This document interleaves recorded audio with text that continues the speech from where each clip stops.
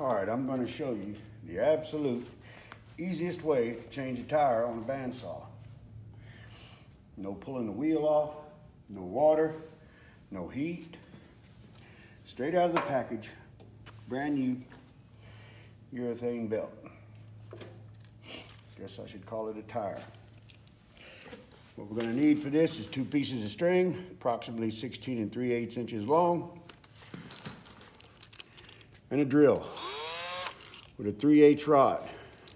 You can use a wooden dowel or cut the head off a bolt like I did and smooth the end so you don't jack up your new tire. I got a 3 8 washer to protect my drill because I'm anal that way, and I got a half inch washer to guide the tire.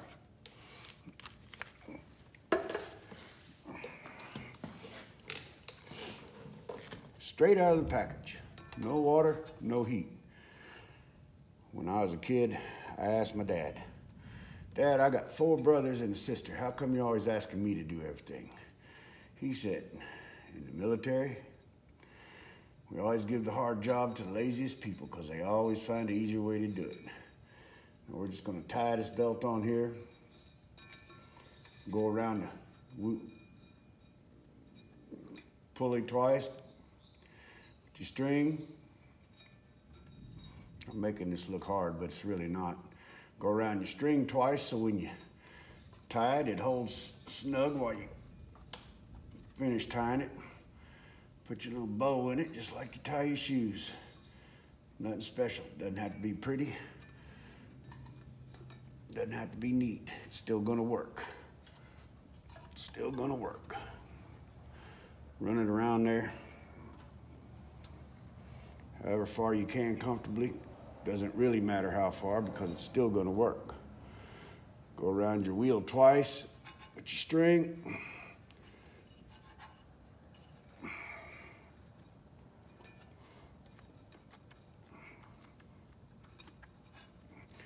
Go around your wheel twice with your string. Go around your string twice so that when you pull it tight, kind of hold itself while you finish tying. Yeah, I'm making this look difficult, but it really isn't.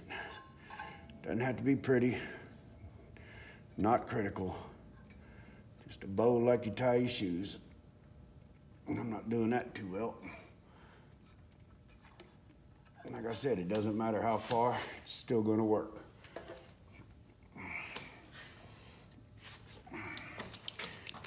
Three rods on your drill.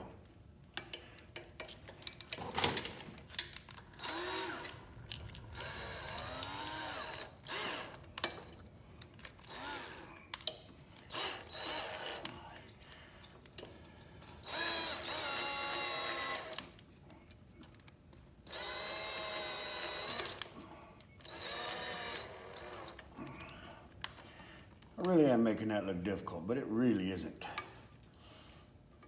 Your string. Move your string.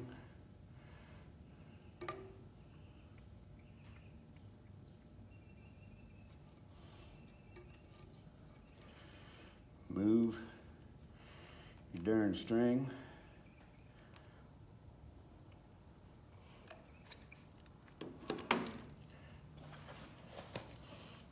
I'll be darned. I haven't had that problem before technical difficulties. It's all right, it's the last one I'm having to do anyhow. And I got more string.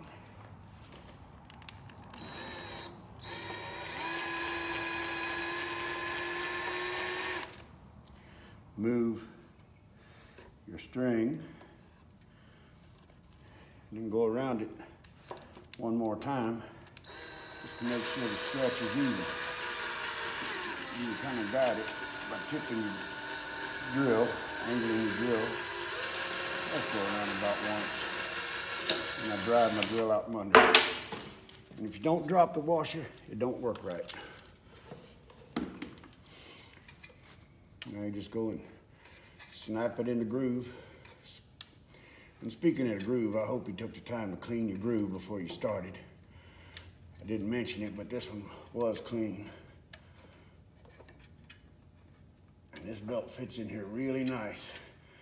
This tire, I keep calling it a belt, but it's definitely a tire. I didn't disconnect the electric motor for this. A little bit of a drag, but this method works so well, it really doesn't matter. I may have made it look hard, but you'll see that's the fastest, easiest possible way to put a tire on a bandsaw. Didn't have to pull a wheel. Now we throw the belt back on and we're good to go.